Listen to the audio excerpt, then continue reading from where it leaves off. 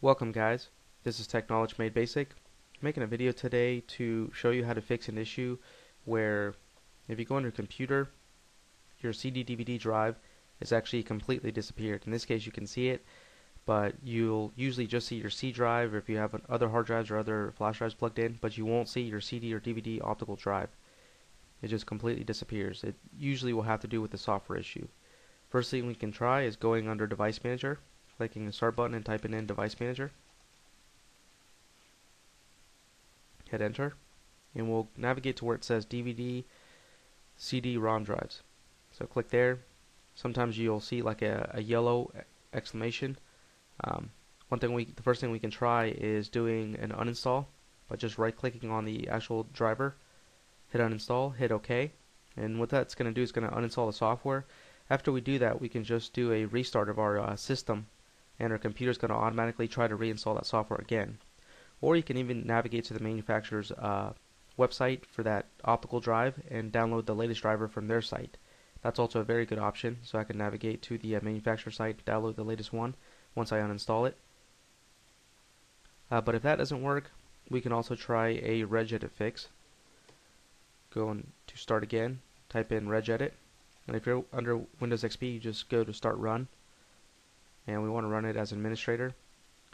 And do keep in mind, anytime you do something with your registry, it can really uh, you know mess something up on your computer. So what you want to do is make sure that you do for sure definitely back up your uh, registry. One way you can do that is by creating a restore point.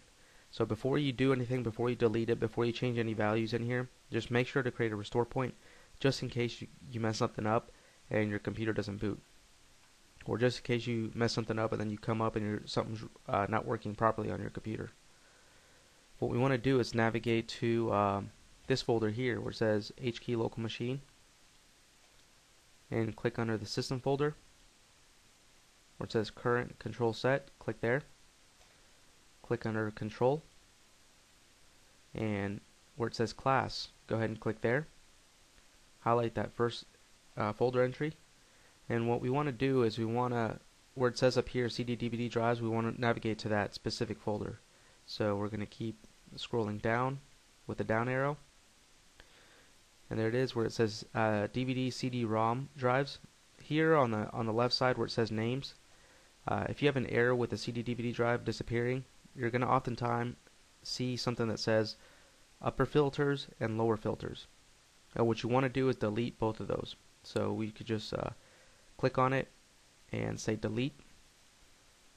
So anything that says upper filters and lower filters, where it says uh, CD, DVD, uh, ROM drives up here, make sure to delete those entries.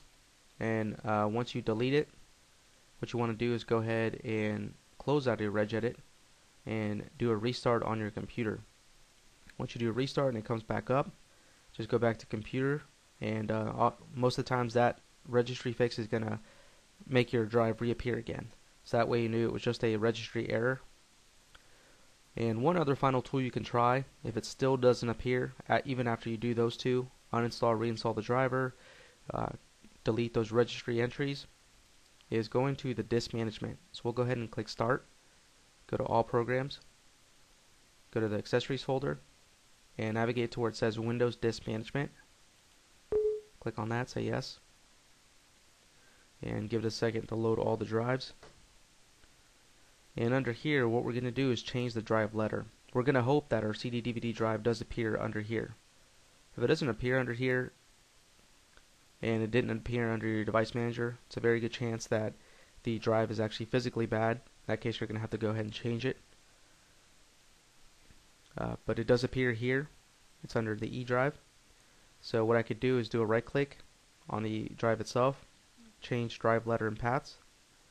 And what we want to do is change the drive letter, so we click the change button. And we go ahead and just assign it a letter that's not already assigned. So once we give it one of those letters, we'll go ahead and hit OK. Go to computer. If it shows up there, great. What you can do is go back and change the drive letter again to what it was before. So that's also another tip uh, besides uninstalling and reinstalling the device driver. Also deleting those registry entries by, is by going to uh, disk management. So those are three tips you can try to find out uh, why your CD DVD optical drive disappeared from computer.